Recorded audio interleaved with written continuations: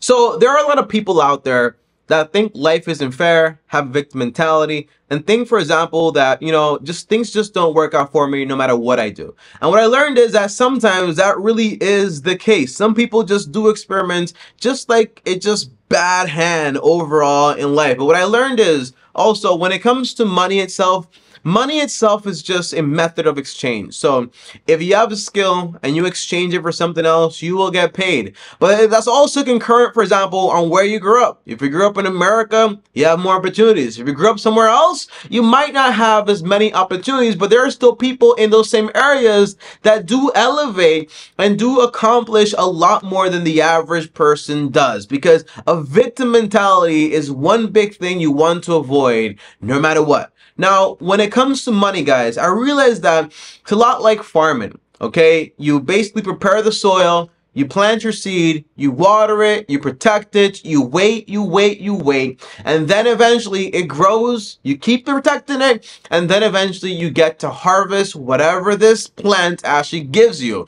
But a lot of people, they basically tend to just, for example, prepare the ground, they never plant anything. Or they basically plant, they stop watering. They keep watering, but then they sell it before any fruits come out, alright? So it's just like a terrible thing overall. So this video right here, I'm going to talk about, for example, a poor mentality versus a wealthy mentality. And by the way, when I say wealthy, when I mean a rich mindset, I don't mean you need to have millions or billions of dollars. I just mean, for example, you have enough money, so money is not the main problem in your life, alright? And that's a good thing, trust me when I say it. Now, the very first thing, guys, as always, is smash the like button. It helps a lot with the channel. On top of that, subscribe to the channel, hit the bell to get notified because that's free and you get updated with new videos every single day that I basically post. But the very first one that I want to talk about here when it comes to mentality is fear of missing out, aka FOMO. Now, for some reason, life has always given me, for example, a lot of examples, good and bad. And sometimes I've been the bad person,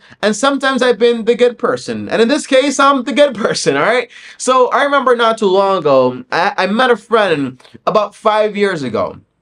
And we were both on this path to basically accomplish wealth, to just get money, right? And I remember I was a very boring guy, very risk averse, and I basically said, you know, have my business here. I don't have that much time. You have a job. You have more time. And it was like, I wanted to know exactly what his plan was. I told him my plan is basically just go ahead and invest into boring companies, all right? I'm going to be doing index fund investing, sending money every single month, letting that money grow over time. And he told me, Tommy, you're going to get like 12% maybe 10%. That's not enough. You need more money. You need to get there faster. And there are so many opportunities out there, you know, and this is where FOMO comes in. There's this fear of missing out. You hear all these stories about people becoming millionaires overnight with Bitcoin, people doing Forex trading, people basically investing into IPO, initial public offerings like Snapchat when it first came out or Uber when it first came out. And you hear all these insane stories about people just making money like crazy. And I told them, I'm just just not interested. I'd rather just take things slow.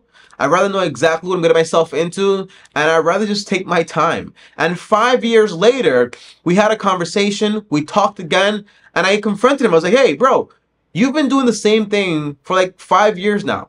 You keep putting your money into all these dumb ideas, not like that, okay, but in a nicer way, but saying you keep putting your money into all these risky things that force you to have to keep restarting the little money you have. You have a job, so your time is basically money for real. And every time you keep doing this thing, you keep basically just wasting your time, having to basically lose your money, having to restart over and over again. And you've met me from the very beginning, and you saw that all I've been doing is basically just investing into boring things and letting that money basically grow over time.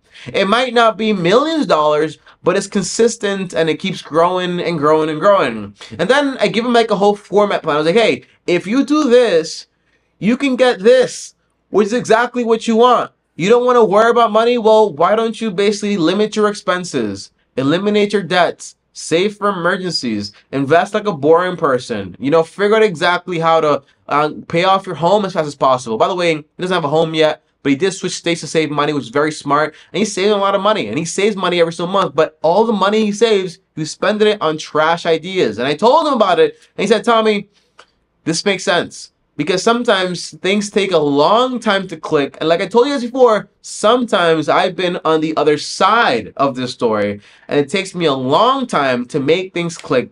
But once it clicks, it clicks, and that's a big difference. Now, number two, guys, is going to be keeping up with broke people aka keeping up with the Joneses. I don't know exactly, well, I do know, okay? We are creatures and we're jealous and envious. It's just bad overall. But overall, you know, you see somebody with something and you kind of want it. And you know, when you're a kid, it's just kind of like a little like frivolous and not really that crazy because your friend has a toy, you want to buy one. Your friend has a Nintendo, you want the Nintendo or uh, a PlayStation or an Xbox whatever.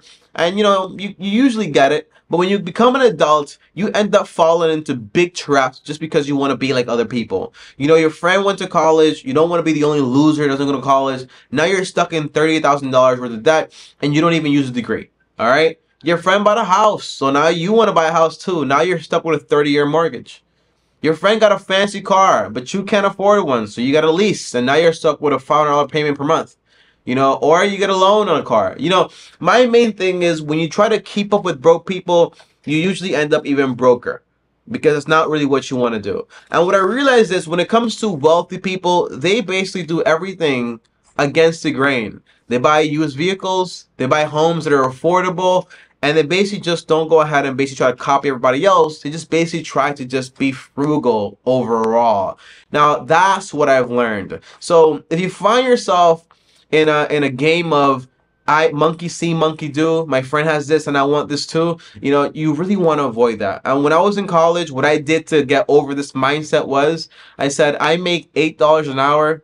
Whenever I buy a pair of shoes for hundred dollars or two hundred dollars, I'm literally spending 10 hours or 20 hours of my time on this thing just to look cool or whatever. And the people that I'm trying to impress, they're not really people that care about me. And eventually, I probably won't care about them either, right? Because that's not the type of friend you actually want. So just keep those things in mind. And eventually, what I did was I sold everything of value that I had to actually buy things of real value, like assets in the stock market and so on, and savings.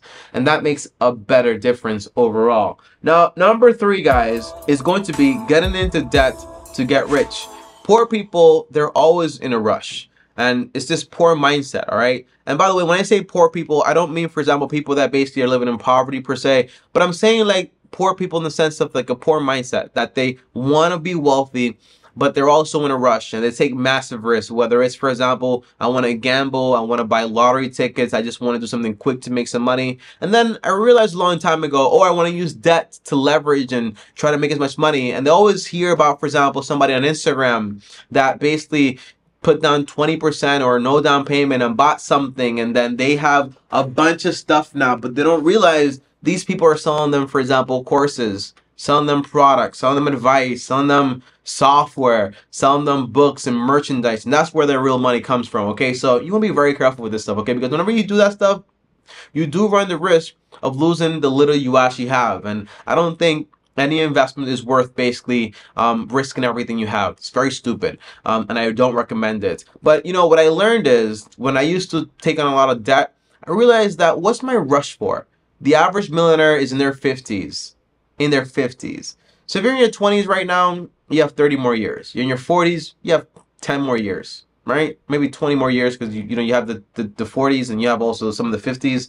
It's like 20 years. Like you have time to accomplish your goals. So why take on all this illegitimate risk for no reason? And lastly, lastly, it's only three, but I'll give you this third one is a lot of people have victim mentality. Um, yes, people do get dealt very bad hands, but one thing that's helped me out the most is always looking at people that have been dealt the worst hands and seeing exactly how they basically overcame all those things because whatever man can do man can usually do all right? And it's not really that impressive when you actually think about it okay? Because if somebody does this and you do it too um, you probably can get the same result but don't expect to get it at the same exact time. And don't expect to get exactly what they have either. You know the whole thing is if you really want not to worry about money figure out your blueprint to actually get there and just kind of like um execute. But don't assume that your version of that blueprint looks exactly like somebody else's you know because my version of not worrying about money is having God be the priority in my life, having a, a wife and a family, taking care of my family, and not having to worry about, for example, the daily um, stresses of like having to live paycheck to paycheck. That's my version of success. But for some people, it might be, for example, I want to make millions of dollars and I want to have a, a, a, big car that runs fancy and goes vroom vroom. And that stuff is cool stuff, right? But you really have to ask yourself, are you willing to pay that price for all the work you have to do to actually accomplish those things? Keep that in mind. Thanks for watching, guys. And as always, like, subscribe, hit the bell to get notified. Shout out to God. He's awesome. And on top here is another video. Over here is my face. Go subscribe. And as always, Long Term Team officially out.